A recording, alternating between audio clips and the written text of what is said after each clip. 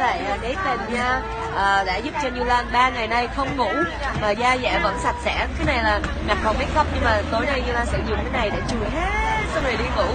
Tại vì cái này nó rất là tốt tại vì Như Lan chùi tưởng mình sạch rồi xong rồi Teresa chùi nữa. Mới biết là mặt mình còn dơ mà vậy mà đi ngủ thấy không? Cho nên là sau cái video này là về và Teresa sẽ giúp Như Lan dùng cái này nữa. Như Lan rất là excited. This is a new skin phải không ạ? Dạ. chắc có lẽ Như Lan phải Spa.